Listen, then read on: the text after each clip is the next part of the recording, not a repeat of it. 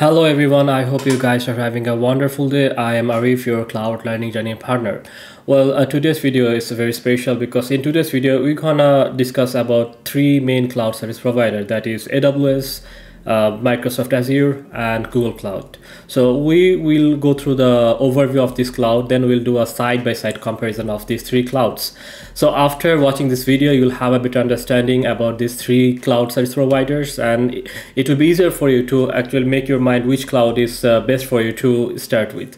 And uh, before starting the video, I just want to talk about my background. Well, I do have more than eight years of experience in cloud computing field.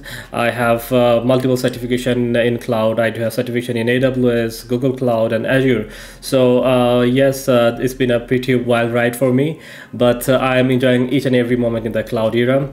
And uh, beside that, I also uh, have work experience in multiple companies. I can mention IBM as an example. So without further delay, let's dive in.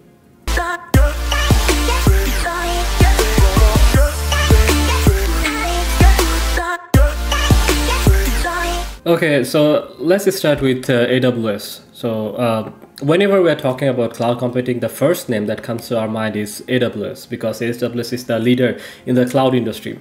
Uh, AWS is uh, very stable. So whenever an enterprise level company uh, are looking for cloud options, AWS definitely should be the first choice.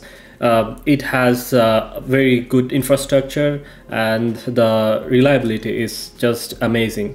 Uh, so whenever we're talking about AWS, a few services you need to know uh, for servers, the, the, main service AWS provides is called EC2, that stands for Elastic Compute Cloud. This is for server-based applications. Uh, if we are talking about serverless application, then AWS comes with a very amazing uh, service that is called AWS Lambda that helps us to build our serverless application. And uh, if we are talking about the storage, AWS has its very popular service made as S3, simple storage service. So these are some very popular services from AWS. So if we are looking for reliability and uh, security, then uh, AWS should be our first choice. Okay, so after AWS, let's talk about uh, Microsoft Azure. The impressive thing about Microsoft Azure is that Microsoft is spending a tons of money to catch this uh, cloud industry. So right now in uh, these recent years, uh, the percentage the holdings is increasing rapidly. This is really impressive.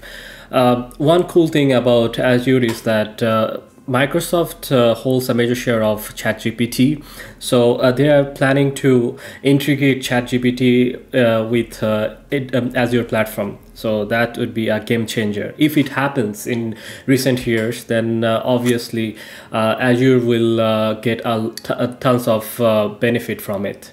Uh, beside that, Azure comes with a very cool services like wise for servers. Azure have Azure uh, virtual machines, which is kind of like the AWS EC2 uh, kind of service. Uh, then for storage, Azure has Azure Blob, which is very popular. It is uh, scalable. You can uh, put as many object or files inside it, so it's uh, unlimited. Uh, for serverless, Azure has its a service called Azure Functions, which are we can compare it with AWS Lambda. So uh, Azure is kind of like if you compare the, the timeline, Azure is new to the market comparing to AWS, but the way it's growing is pretty impressive. Okay, now let's talk about uh, Google Cloud. So whenever we are talking about Google, we know that we are talking about uh, one of the leading technologies uh, companies.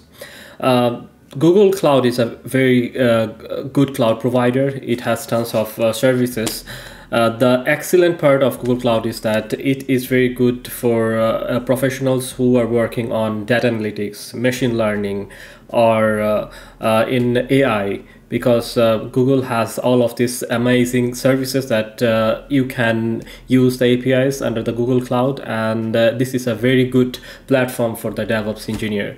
So if you are doing anything related with this field, Google Cloud is definitely the winner because it can handle a massive amount of data at a, a single point of time. So if you are dealing with uh, tons of data, you should go for Google Cloud. Okay, after this overview, now we're gonna look into the actual side-by-side -side comparison. That's the fun stuff, right? So uh, let's talk about uh, the global foot footprint because uh, we really want to know which cloud has uh, the biggest uh, footprint that so it will help us uh, our application to grow suppose uh, you have an application uh, that is uh, uh, used from multiple parts from the world. Maybe you are in us but your application is uh, being used from europe. So if the customers that are in europe can't access your application quickly um, and uh, rapidly then uh, they won't use application. They won't have a great user experience. So for that reason uh, global footprint is uh, one of the major factors whenever we are comparing any cloud provider in that case uh, i did my research and found that aws is the leader in this field because aws has regions all over around the world. Beside regions it has multiple availability zones inside every region. And the way things are developed in a very state uh, stateful way that it's amazing. Uh, that's why you can see in background that if you see the certification numbers i do have um, more aws certification compared to any other cloud providers. Because uh, whatever comes first aws is the first one who, who introduces those.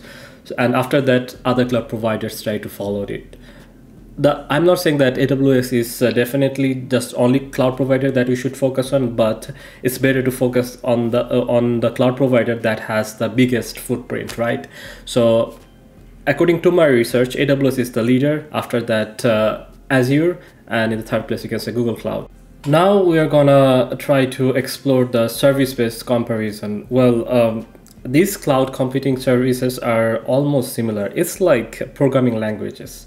So suppose you are you learn one programming language, maybe C. Then after C, it will be really easier for you to learn C++ or C sharp because uh, the concept is pretty much the same. Just you need to learn the new syntax. It's the same goes for every cloud provider. So if you learn one cloud provider, then uh, from there you can just move to another cloud provider within a very short period of time because you have learned the basics, the very fundamentals things and now you just need to know the new uh, names of those uh, services in different cloud provider a little bit of uh, functionality changes other than that all are pretty same uh, if we are talking about these uh, services uh, aws is best if you are an enterprise level uh, company and you really want your application to be available and scalable uh, all around the world and uh, you want a very seamless uh, experience, then AWS is definitely the option.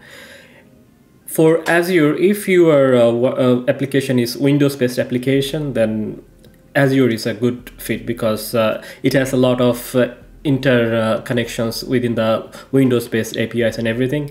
So that means if your application is based on Windows application, then you can go for Azure. And for Google Cloud, so suppose if we're working on uh, uh, big data, AI, machine learning, these sort of technologies uh, are used by your application, then you can go for Google Cloud because Google Cloud offers a tons of services and APIs that can help you to uh, build your application for these technologies. Congratulations everyone for reaching this far of this video. Uh, so into this video, we try to cover AWS, uh, Azure, Google Cloud overview, and then we try to do a side-by-side comparison, like which cloud is a good fit for you. Uh, well, if you're a new learner, so my suggestion to you would be uh, you can go for AWS uh, AWS Cloud because AWS covers almost all the services. So once you learn AWS, you are comfortable with AWS. After a few years of experience in AWS, then you can try to learn the Azure and Google Cloud. So once you are well uh, versed on all of these uh, three cloud, then in this current job market, you are a superstar. So first start with one, be good at it, then go for the other two. So that's my suggestion and this is how I also did it. So uh, thank you so much guys for watching my videos. It means a lot to me. And if you got any questions or any concerns, please let me know under this comment section and I will definitely uh, reply you back in a very short period of time. Uh, I am planning to upload videos in a very frequently manner. If you think this uh, video was helpful, please like and subscribe to my channel. And uh, I'm planning to create a series uh, related to multiple topics. I'm gonna cover cloud computing. I'm gonna cover uh, security cloud security and uh, also i'll create a series related to certification process. Like certification when you're talking about certification uh, we have to come up with a very specific strategy. If you follow the strategy to make your life way easier and you can crack any certification. This year um, i uh, cracked uh, CISSP and CCSP certification using my strategies. So uh, i will share all the information so please uh, subscribe to my channel for watching all the videos that I will upload in future. Um, that's all for today and uh, I wish you a very wonderful day.